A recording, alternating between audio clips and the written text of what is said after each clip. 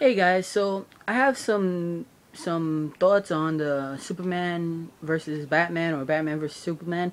Since it's not an official title, I'm gonna throw out some titles out there. Leave in the comment section below on what what you feel is the right one.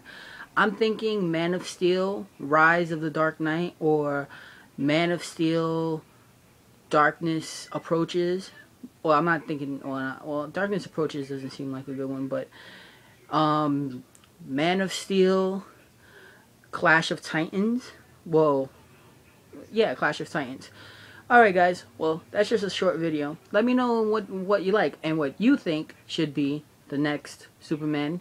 Well, the, the Man of Steel title. Thanks. Have an awesome day.